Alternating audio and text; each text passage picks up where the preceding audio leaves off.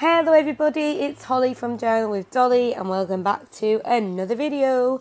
Um, just really quickly, just want to say off the bat, I am really sorry um, if I sound a little bit croaky on this video. I have got a cold again, um, so if I'm snuffling and stuff, I am really, really sorry. Um, please just bear with me. I basically wanted to get a video up for you lot, so that's why I'm here and um, I'm going to try my best for you. So as you can see what I'm doing is I am working in my Fauxbonichi today um, so I thought I'd come on and answer some questions which you asked me on Instagram. So this morning before I went to work I asked for you to send me over a few questions um, just asking you know a few things so um, it could have been personal or it could have been to do with journaling and you um, you sent me a few so I'm going to answer them right now for you. Um, also, this is the second time that I filmed this. For some reason, um, it just didn't want to work the first time. It did that weird thing again, which I've mentioned on a couple of videos before. Um, so yeah, I'm sorry if I repeat myself. I just want to try and remember everything I said in the first one. Um, first off though, yay, I've hit 600 subscribers. I'm so excited about this. Um, never, ever, ever did I ever think that when I first started this channel, um, you know, I would hit that many subscribers. Definitely didn't think that I would in the first five months of making this channel. Um, and it's just going from strength to strength. So thank you so much for that.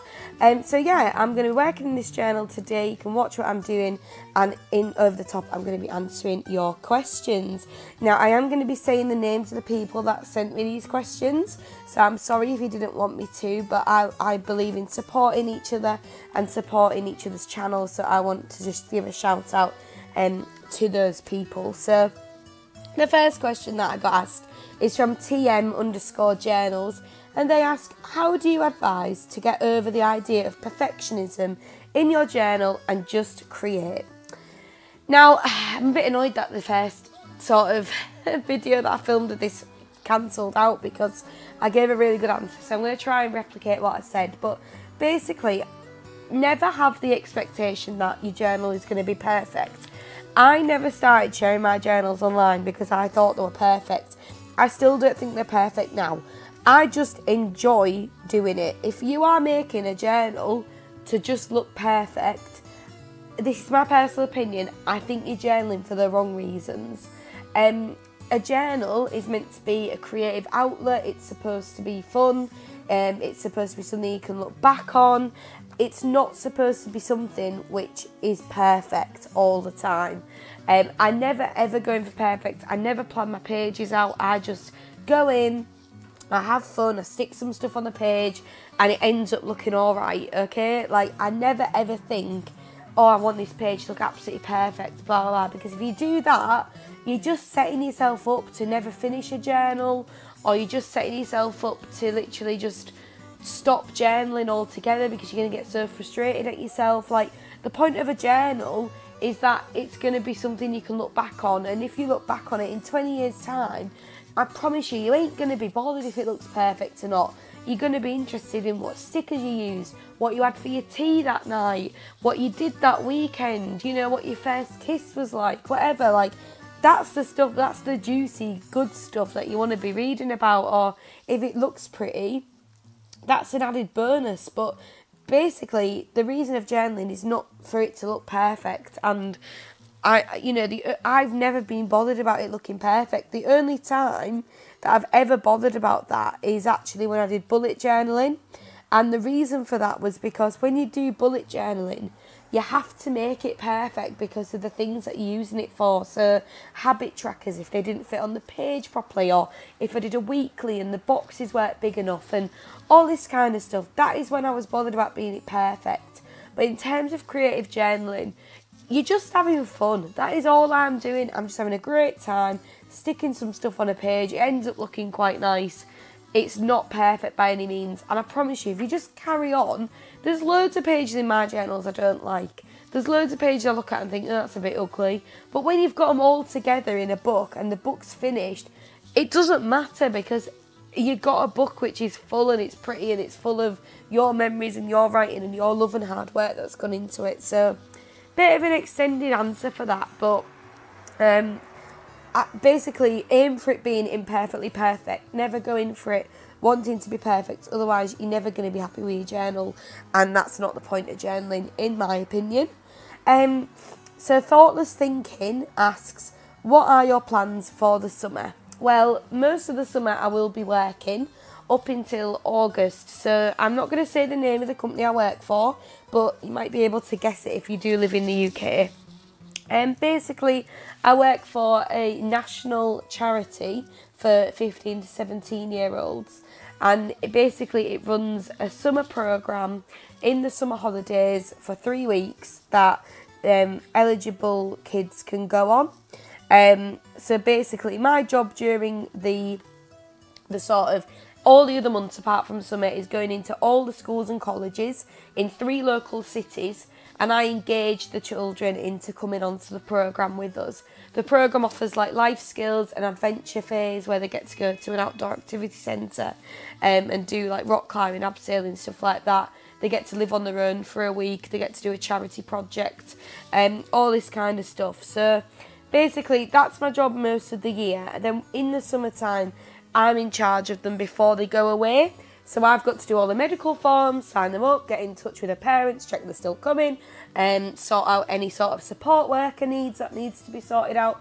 Blah blah blah. That's basically what I do in the summertime. I don't get to go on the program sadly, but I am the uh, mastermind behind it all. um, after work, I've got pretty much all of August off because me and my boyfriend will be going to a festival in Budapest, Hungary, which we went to last year. Um, last year we went interrailing all across um, Eastern Europe, so we got the train all across from Germany. We went to Germany, we went to to the Czech Republic, we went to Austria, and we went to Hungary. This year we're going to go to Slovakia first, to Bratislava, and then we're going to get the train down to Budapest to Hungary for the festival, which is called Sziget Festival. It's on an island, it's nine days long, it's a big music festival. Um, it's going to be a really fun time. Florence and the Machine are there, Ed Sheeran's there. Um, it's going to be a really fun time. So that's what I'm doing in the summer. When I get back from Sziget Festival, um, I'm going to be having a couple of more days at work and then I'll be going to Leeds Festival, which is my favourite weekend of the whole year. I've been five times now. This is my boyfriend's ninth year going. And again, it's just a really big music festival this year. Foo Fighters are there. The 1975 are there. Like, ah, oh, it's just such a fun time. I'm getting too excited thinking about it. Um, so yeah, then my plans for the summer working and going to lots of music festivals. I will be doing some vlogging videos as well about those. So look out for those. If you don't like that sort of stuff, no pressure. You don't have to watch them, but I know that a lot of people do like sort of vlogging, especially with festivals um, and stuff like that. That's my other passion, really. Apart from journaling, I love the theatre, I love singing, I love going to music festivals, um, and I want to share that as well as my journaling. So, writing feelings and stories asked, where do you store your journals?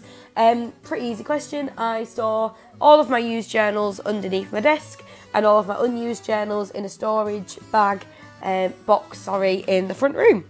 Mediocre Vampire asks, I accidentally missed a page in my journal. What should I fill it with? This purely depends on what type of journal it is. No pressure, man. Like, don't get stressed out about if you have missed a page out your journal. Just go back and fill it in whenever you want. If it's a Fauxbonichi where it's a day by day thing, if you've not um, put, you know, written notes about what you did in that day and you can't remember, no stress. Literally, just put in a song lyric, put in a currently list, put in, you know, your favourite thing at the moment, a TV programme you're watching, anything like that. If it's a creative journal, you can literally put whatever you want in, like, put whatever you want in. It's your journal. It's, like I said earlier about perfection, it's your journal. Who cares what you put in it? Like, we're all guilty of thinking I shouldn't put this in it, blah, blah, blah. But why not? It's just a notebook with your life in it. No one's literally going to be marking it like an exam paper. Like, put whatever you want in it.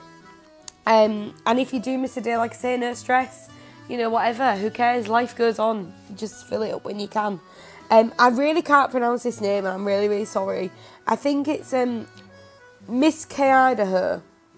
Uh, I think that's it. Um, but they asked, "What's on your bucket list?" And um, basically, I don't really have a bucket list. I used to have one. It used to have things like um, uh, go to university, get a degree, volunteer abroad, um, live in a flat in Leeds, all this kind of stuff. And I've actually done all of those things. Um, so um, I have got kind of a bucket list, but it's more future aspirations, I guess. Um, my main one is that I would like to have two dogs. Um, at one point when I have a flat, um, not a flat, and I have a house. Um, so I'd like to buy a house, have two dogs.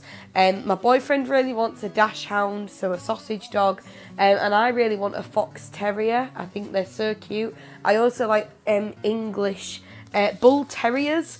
Um, they're really really ugly, but I love them because they're so ugly. Um, but I don't think I could ever have one because they're too strong and it'd pull me over if I tried to walk him. Um, also, my bucket list, I'd like to do a master's degree. I'd like to do some more volunteering in my local community because I used to do loads and I've just got, come off the bandwagon with that. Um, and ultimately, just want to be happy.